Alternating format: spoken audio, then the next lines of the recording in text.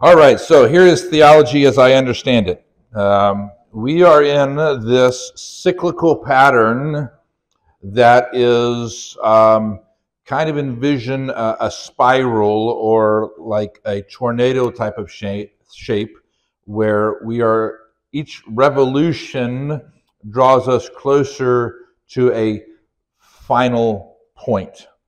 Okay, but each revolution is basically repeating the revolution prior to it. They just kind of get crammed closer and closer together until there will be some point when history sums up, completes, or, or finishes as we know it. Um, and each degree of that circle represents some aspect uh, that, that we're, we're living through. Now, the, the problem is, is that as humans, what we do is we look at the world and the culture around us, and, and when we're standing at a spot looking at a particular problem, we, we, we survey the landscape that we see with our eyes and we say, oh, this is the proper way to respond which inevitably leads us into the next slice of pie, which is exactly what they did in the last revolution and the revolution before that. And so we just keep repeating the same issues and the same problems because we keep trying to do the same solutions over and over again. Uh, we might call them something different, but it's uh, for the most part something very old or very um, tried and tr- untrue for that sake. In 1948, Winston Churchill said, Those that fail to learn from history are doomed to repeat it. Now, incidentally, that's not original. He repeated that from somebody else. He's repeating a philosopher named George Santayana from 1905 who worded it this way Those who forget their history are condemned to repeat it. So I think that we fall into this pattern or this, uh, this thing where we continually fall into these cycles because, again, we're looking at the world around us. We're looking at culture. We're looking at uh, how power and wealth are played out.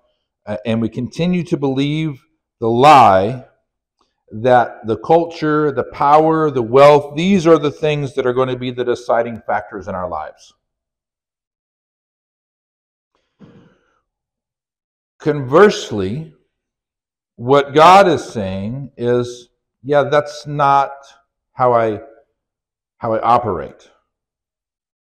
And Jesus was very plain about this when Jesus, uh, in John chapter 18, verse 36, he said, My kingdom's not of this world. If my kingdom were of this world, then my servants would be fighting so that I would not be handed over to the Jews. But as it is, my kingdom is not of this realm. Basically, he's saying, I, I, I got a different way of doing things than the way that you are seeing things being played out in the world but we continue to get caught up into the world processes.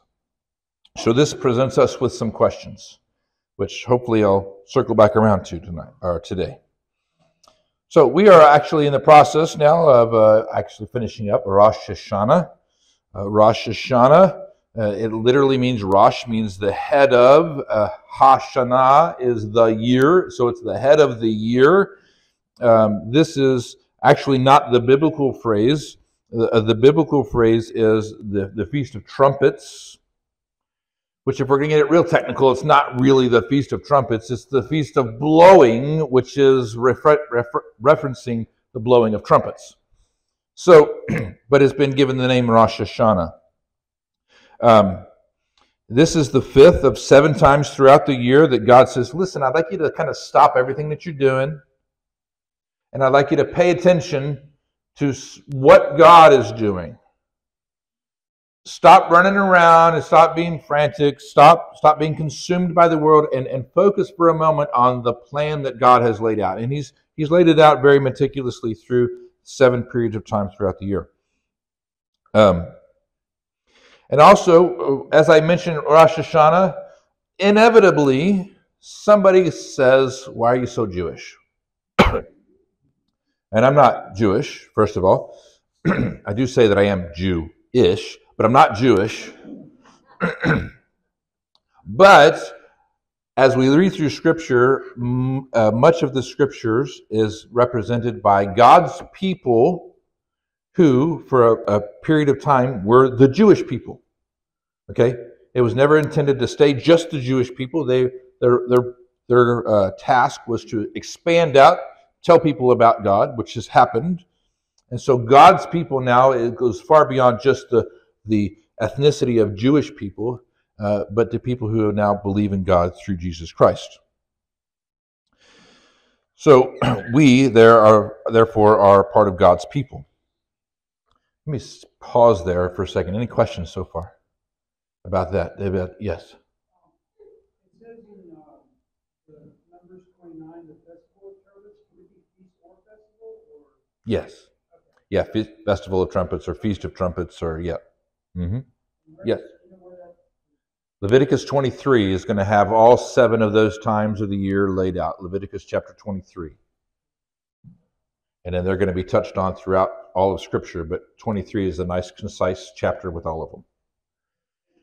Yes, sir. Any other questions? I have discovered uh, that I love dialogue far more than I love monologue. And I recognize that that makes it a little difficult with this many people, but I'm still going to attempt to break that barrier. And so, uh, if there are questions, I've invited this in the past, and I know some of you hate this, uh, but I want to make sure that what I'm saying is clear, okay?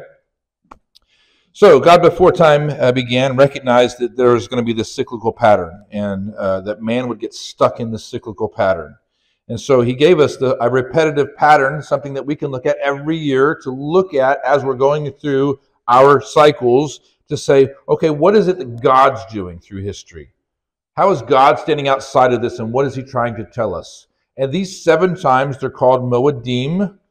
And Moedim is simply um, a word that means appointed times, but it's got this nuance. It's like it's like a really special or an intimate time where you're connecting with somebody, you're building a relationship with somebody. And so God has these times where He wants this these special times with us where He can build relationship with us. It's oftentimes used in reference to like weddings, and so uh, there's seven of them, as we've said. Uh, real quickly, the first one is Passover. It's in the spring. The first three are in spring. Sometimes in, in Hebrew it's called Pesach. Uh, this gives us a picture, many, many pictures, but one of which in the life of Jesus, he was crucified on the day of Passover. Okay, he is the Passover lamb who was crucified for us.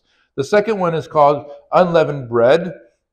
This is literally the day that Jesus was buried into the in the ground. Okay, or he was put into a tomb. Now, uh, there's a prayer that goes along with this day that says, Lord, give us life out of the ground, because it's when they planted seed and they wanted to, pray for that seed to spring up to life. And so they didn't recognize when they instituted that, that as they're praying, give us life out of the ground, that they're referring to a, a, a Jesus who had been crucified on the cross.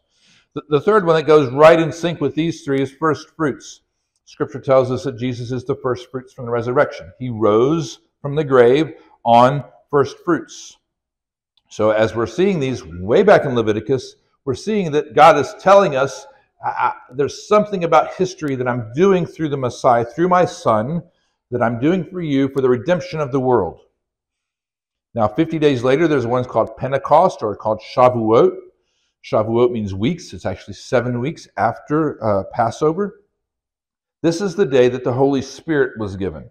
I'm giving you a snapshot, but there is volumes of stuff about each one of these that tell us more about God.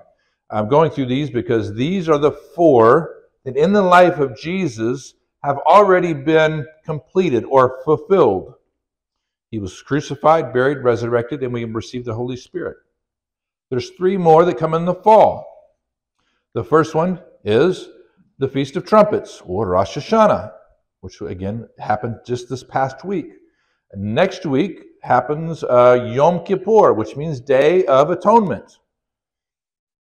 And then shortly after that, we have the Feast of Tabernacles or Booths or Sukkot.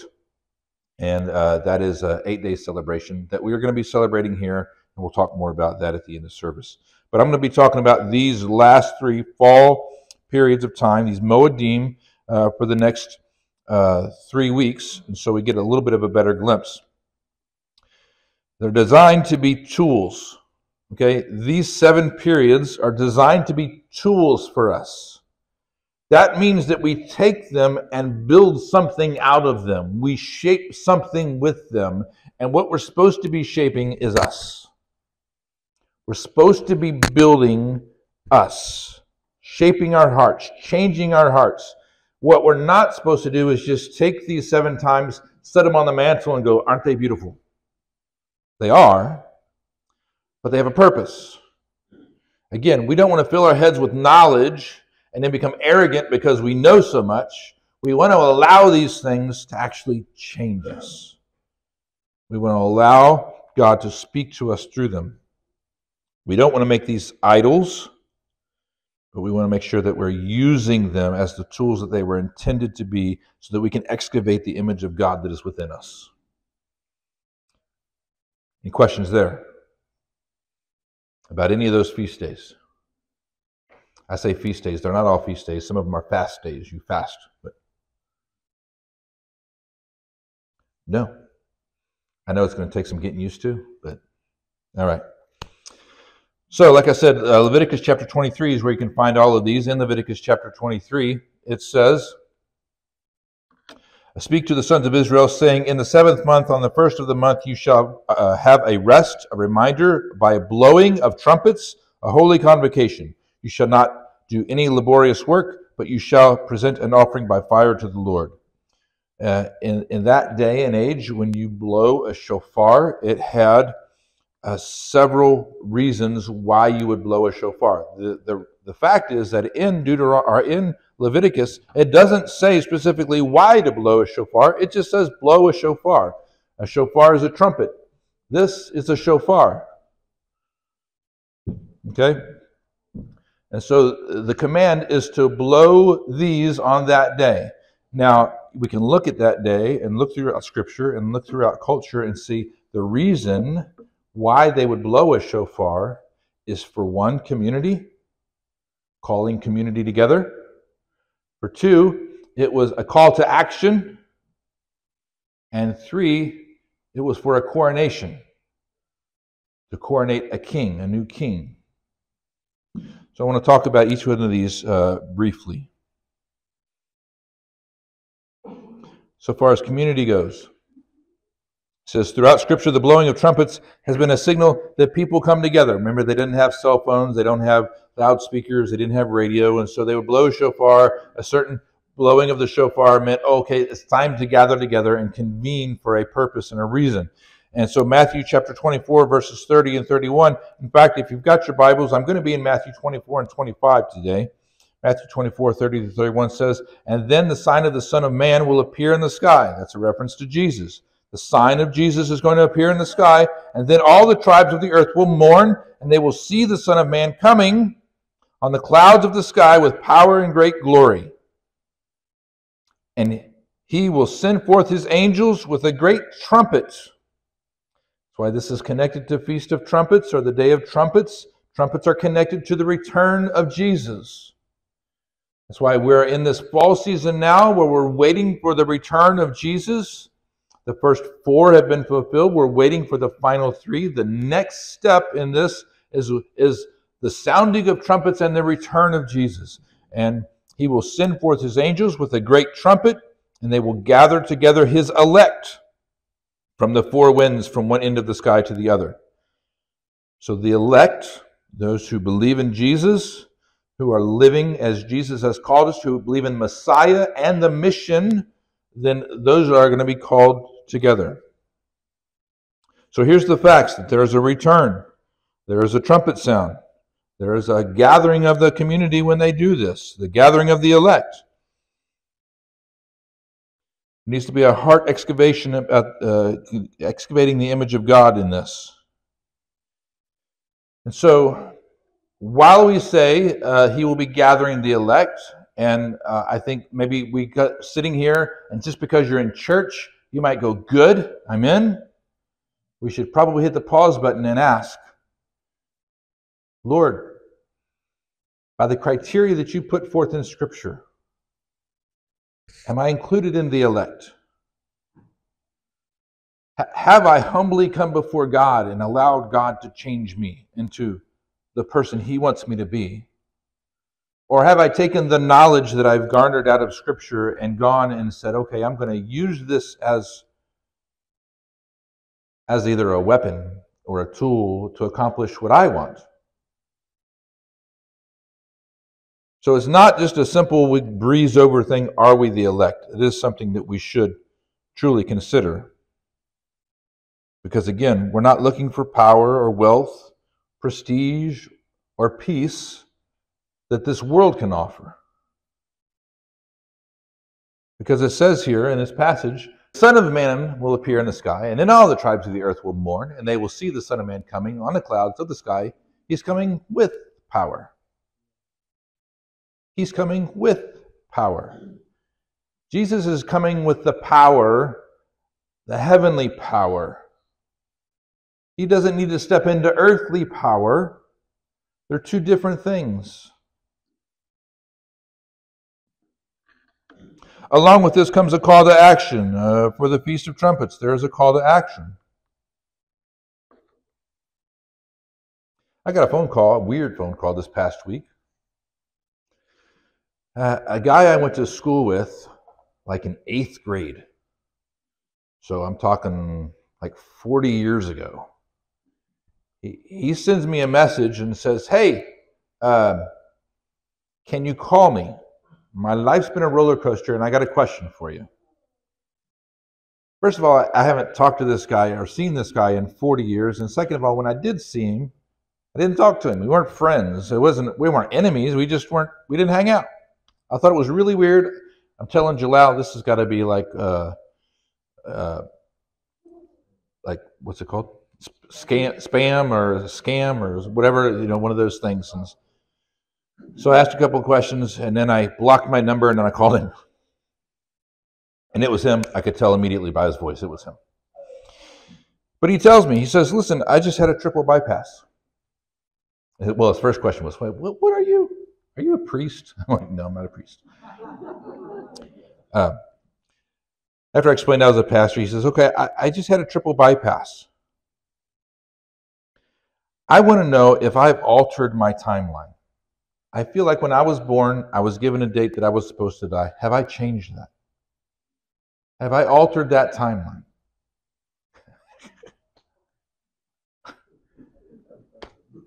I don't know. I'm going to lean upon the idea that God is omniscient and He knows. And maybe God led you into a place where you got that triple bypass and you didn't die. But really, what it boils down to is I think he's asking the wrong question. Your timeline is altered. Okay? You could have died from that. That's not the question. The question is, what are you going to do with the extra time now? What are you going to do as a result of this? And then as I'm thinking about this for him, I think, well, why do we have to wait for triple bypass to ask that question? Why do I have to wait for added time to go, okay, what should I do now? As we're sitting here today, that should be the question that we're asking. What should we do now? What should we do with our time? Matthew chapter 25, it continues in the same conversation that Jesus is having about when he's going to come back. He has this conversation. And he's talking about this call to action you know, biblical language is often often saying uh, using military language. We're called to battle. We're called to to war, and unfortunately, when we we read this, we look at it through an earthly lens, and then we think that we're supposed to be up fighting people, and and and vying for battle, and vying for victory, and defeating each other. But see, Jesus is very clear what he calls us to. And it's not a battle against flesh and blood. It's not a battle against each other. It's a battle against rulers, against the powers, against the world forces of this darkness, against the spiritual forces of the wickedness in the heavenly places, right? What is that? How do you put your finger on that and say, oh, well, okay, I'm going to battle that, but I'm not going to battle people? What's beautiful is in Matthew chapter 25, this is the only description you're really going to get in, in, in, the Bible about what Judgment Day looks like. Now, we know that it is based upon Jesus and upon uh, us embracing Jesus, but, but Jesus says, here's what Judgment Day is going to look like. when, he son, when the Son of Man comes in his glory and all the angels are with him, and he's going to sit on his glorious throne, and all the nations will be gathered before him. And he will separate them one from another as the shepherd separates the sheep from the goats. And he's going to put the sheep on his right, he's going to put the goats on his left. Then the king will say to those on his right, Come, you who are blessed of my Father, inherit the kingdom prepared for you from the foundation of the world. For I was hungry, and you gave me something to drink. I'm sorry, I was hungry, and you gave me something to eat. I was thirsty, and you gave me something to drink. I was a stranger, and you invited me in. I was naked and you clothed me. I was sick and you, invis- and you visited me. I was in prison and you came to me. And then the righteous will answer him, Lord, when? When did we see you hungry and feed you, or thirsty and give you something to drink? When did we see you as a stranger and invite you in, or naked and clothe you? When did we see you sick or in prison and come to you?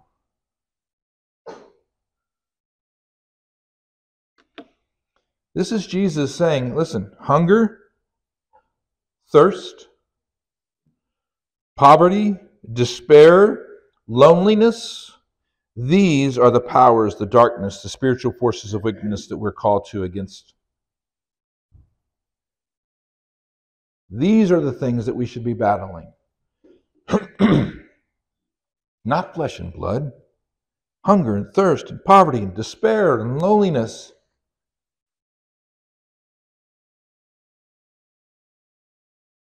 And we can do that. We can engage in that. We can do that in our very own homes with our family. You can go to work and you can engage in that. Your extended family, come to your church, and that's what community is about. How can we help one another? Why we have the market.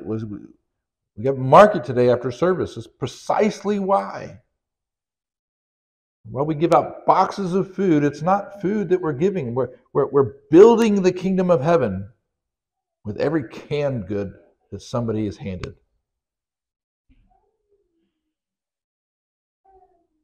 You can do this in your community. There's, we talked about it at the beginning. There is no lack, no lack of dark forces to stand up against. This recent hurricane has created massive devastation in places like North Carolina. And darkness has descended upon people there in ways that they never anticipated. Most of us are not going to have the opportunity. You were talking about can we go down there? I know people, I've got friends who are pastors, they're putting groups together. I'm not one to reinvent the wheel. But if you if you want to go down, I got a, a friend who's going down for a week. Or if you want to drive down for however many days that you can, I'll connect you with him. They've got supplies going down. We've got we've got he's got two semis going down. We've got some things here that we're going to, going to donate. I'm going to see if I can work in a few days to go down. Yes, there's opportunity to go down. We partner with Matthew 25. Matthew 25 is an incredible organization that does work all over the globe, and they are like on top of this. So if you can't go down, there's still a way that you can help. There's still a way that you can, when once a month we gather at Matthew 25 for, for things just like this. It's sorting and gathering and packing and boxing things, and so that when devastations like this happen in North Carolina, they're ready to send what's needed. So if you don't have the money to help out, or you don't have the time to travel down there, maybe you got time to, to go over to Matthew 25 and pack some boxes for them, separate some clothes for them. If you want to make a donation, make a donation to Matthew 25 so that they can funnel that money down to, to help. But if you're able to help out, I, I want to encourage you to do that. But also don't think that, well, I donated to this cause, my Christian duty is done. Um, I had a, I had a, a, I had a video that I had to watch for class, and uh, it was about. Um, I shared this this morning. It was a group of men who were engaged in counseling because they were abusive to their wives, and uh, one of the men was really, really happy because he was like, I- "I'm doing so good. I'm not abusing her as much as I was." Now, I'm glad you all laughed because that's a ridiculous statement, and we recognize it as a ridiculous statement. But too oftentimes we, we, we look at our Christianity and the way that we, we serve and the way that we give and the way that we live out our Christianity that way. Well, I did a little bit, so I didn't do it all, but I did a little bit, and that's enough.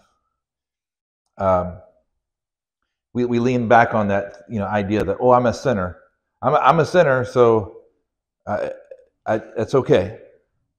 I, I, I beat her just a little bit, so it's okay. But if we, no, a little bit isn't enough. A little bit isn't enough when we're serving this God that we serve. And I'm not, when I say a little bit isn't enough, I'm not talking about dollars. Okay? Might be dollars, but I'm talking about your heart. A little bit of your heart isn't enough. How is it that we how is it that we dedicate our lives to what it is that God's calling us to? We'll try to pull up the video at the end of the service if we have time and, and uh, show it to you there. I want to get to the last point. The last point is about coronation of the king. When you blow the, blow the trumpets, it's to recognize that there's a new king. And in fact, in this passage in Matthew chapter 25, it, it says that.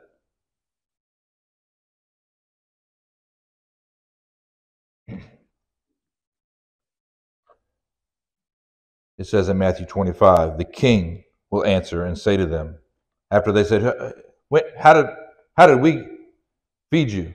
How did we give you something to drink?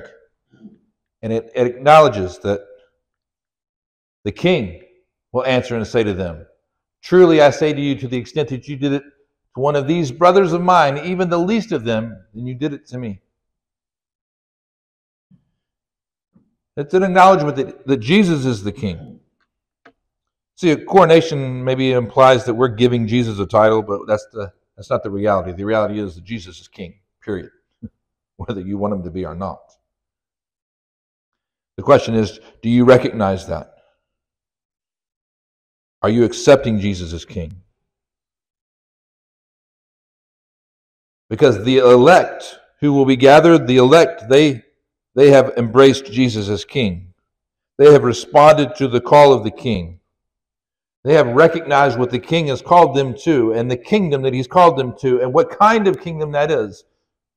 And that it's a different kingdom than, than the, what we see around us. But it's a kingdom that's fueled by, by grace and mercy and justice and love and kindness and generosity and charity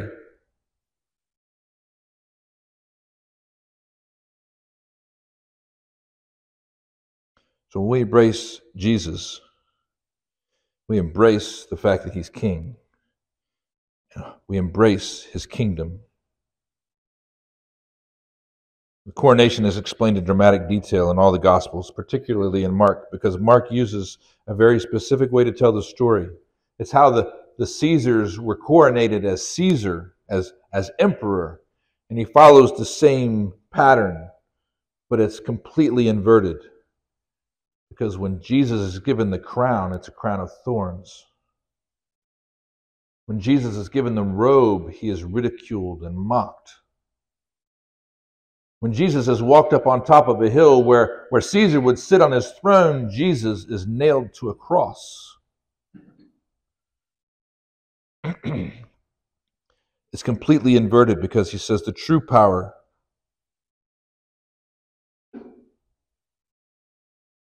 The true power comes not the way that we fight and squabble over it in this world. The True power comes through following in the footsteps of Jesus.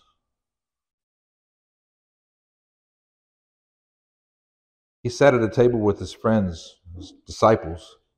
He sat at a table with the guy who was going to betray him.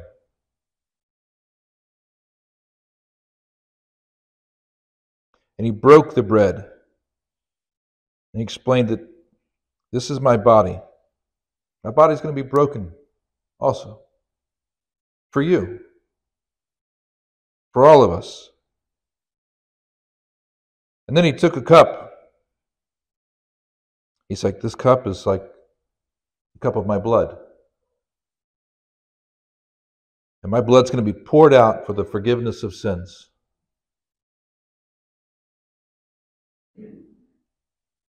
Notice the inversion. Jesus is pouring out his own blood for the sins. Grasp what sin is. A sin is an offense against God. Jesus is God. Jesus is saying, I will pour out my own blood for your offense against me, as opposed to saying, I want your blood. I want your blood for your offense.